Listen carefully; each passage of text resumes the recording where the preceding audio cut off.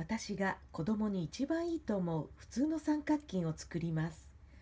バンダナの大きさがちょうど良かったので同じ大きさにします。一辺の長さが55センチの四角を三角形に切りました。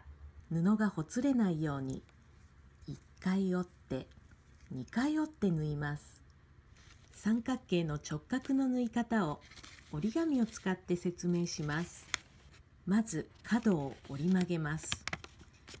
そうしたら角を落とします。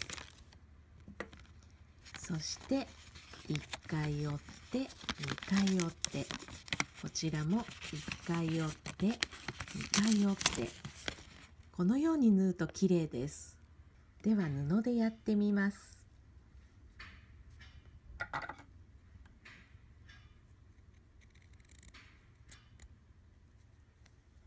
1回折ってもう1回折って1回折ってもう1回折って次は鋭角の縫い方です。尖っている角を内側に折ります。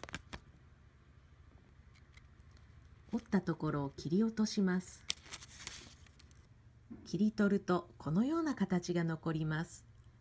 この下の直角のところ。そこを少し折ります。ここがポイントです。あとは1回折ってもう1回折って。回折ってもう1回折って。こうすると角もきれいに縫えます。では鋭角の方も角を切ります。直角のところを折りました。そうしたら上から1回折って2回折って。下も1回折って。2回折って。斜めのラインを先に折って後からこの下のラインをかぶせるようにするとうまくいきます。折りながら縫っていきます。